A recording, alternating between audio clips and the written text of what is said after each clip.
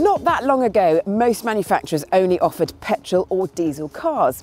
The choice of power sources now includes environmentally focused ones and some with zero emissions. But what will the future fuel of choice be? What will be the pros and cons? Well, we have three popular power options here. Rachel's gone for the plug-in hybrid, Erin's all electric, and I'm packing some petrol. This is the seriously sexy Jaguar I-Pace, the first fully electric SUV from Jaguar or Land Rover. It's smart on the outside and a great blend of the familiar and the futuristic on the inside.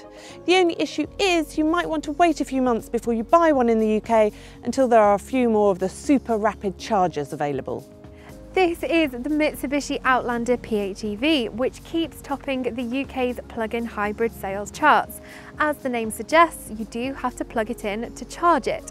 A plug-in hybrid car generally has a petrol engine and an electric motor. The car uses both electricity stored in the batteries and fuel from the tank to make the car move. In most cases, you could do about 20 to 30 miles on all electric or zero emissions range. This is Alfa Romeo's first ever SUV and it makes a stylish entrance wherever you turn up. Named after the highest Alpine pass, which is paradise for drivers, it lays its sporty intentions bare right from the start. Excellent.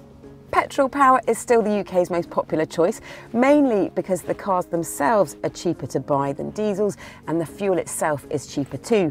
If you drive between six and 7,000 miles a year and you're thinking about choosing diesel or petrol, then petrol will be the better choice for you. Generally, the interior of a hybrid or plug-in hybrid car is not much different to that of a petrol or diesel powered car.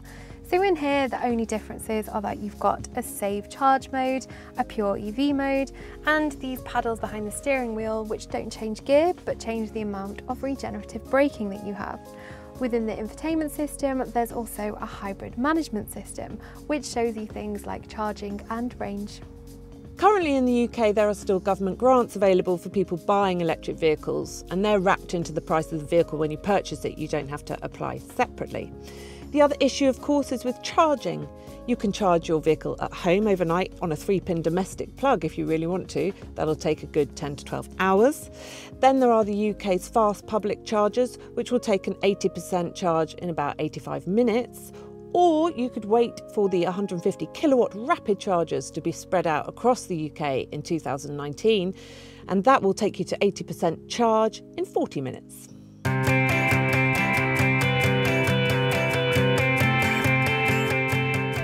I have loved petrol ever since I was a 12 year old racing karts, and I wish that every single car had a noisy, powerful V12 engine in it.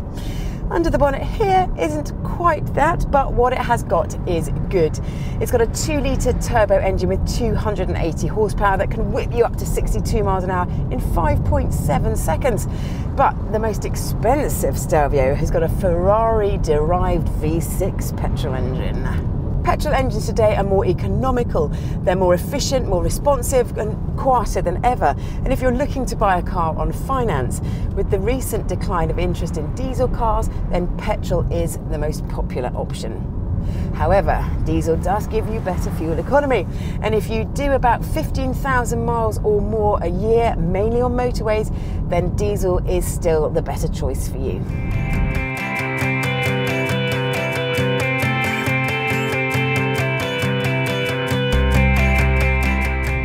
There's not much difference between driving a normal automatic car and a hybrid, all of which are currently automatics. So you don't have to compromise on your driving experience. You do have to get a little bit used to regenerative braking, but apart from that, Importantly, you also don't have to worry about range anxiety like you would have to in a fully electric car. If you're a company car driver, you might see some tax benefits from driving a hybrid car, and cars under 75 grams of CO2 emissions are currently exempt from the London congestion charge. However, it's not all super positive. If you do a lot of miles, especially on a motorway, you'll probably be better off with an efficient diesel car because you'll get a much better fuel economy. A plug-in hybrid car like this one also still needs a place to charge. To make the most of that battery power, it'll need to be charged for several hours a day. This one takes five to charge fully from a normal three pin plug. And a hybrid car will cost you more than an equivalent diesel car, so this might be something that you want to consider as well.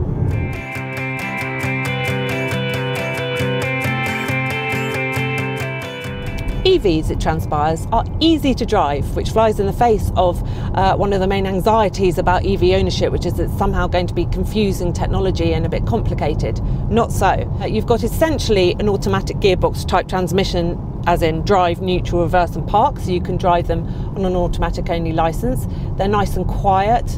Acceleration is immediate and smooth and it's got this wonderful regenerative braking which once you get used to it and it only takes five minutes to get used to it is great. It means that when you lift off the throttle as i will now the car starts to slow before you touch the brake pedal. And that's because it's taking that energy which would otherwise be lost through hot brakes and sending it back to the battery to give you some extra charge which is a fab thing and very clever. And the other thing, range anxiety amongst consumers. Will I be able to get where I'm going on one charge? If not, where can I refuel?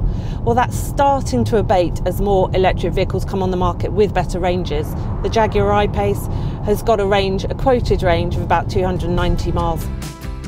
There's a lot of things to think about when buying your next car, and fuel type is probably one of the biggest choices. So, how do all the numbers stack up? One I-Pace card for you. Thank you very much. One Stelvio card for you. Right, ladies, points mean prizes. Quickest acceleration to 62 miles per hour, Vicki. 5.7 seconds. I'm out 11 seconds. 4.8 seconds, five points to me. That's quick. Okay, filling up time required. Rachel. Couple of minutes plus five hours on the battery on a three pin plug. For my home wall charging box, 12.9 hours. Uh. Just a couple of minutes for me and I'm done. CO2 emissions. Vicki. 161 grams per kilometre. 40 grams per kilometre. Oh, zero grams per kilometre, another five points for the I-Pace. Coolest car. I don't think I'm winning this one. Well, I think that my car has got a great silhouette and looks good outside the school gates. I'd agree. But I do have the sexiest EV on sale right now. Yeah. So, five points to you. 15 so far. Most practical. I think this one is mine. I think it is. You've got to have the biggest boot space. Yeah. Mm-hmm. Fair dues. Yeah. Okay, what about miles on a tank full of whatever you've got? Ooh, I'm 292 miles. Okay, 33 all electric, more than 300 okay. petrol. 443 miles, yeah. Five points to me. So, I have got 10 points. I have 15. Oh, the I-Pace wins.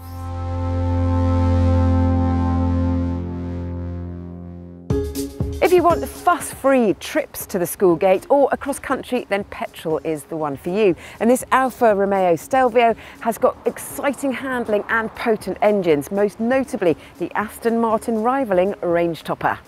If you want the flexibility of some electric driving and lower CO2 emissions but can't quite commit to fully electric, then a plug-in hybrid could be for you. This Mitsubishi Outlander PHEV is really spacious and has low running costs. And if you want something environmentally friendly, cheap to power and quiet to drive, then an electric vehicle could well be for you. I adore this Jaguar I-Pace. It looks absolutely fantastic and the range is pretty good too.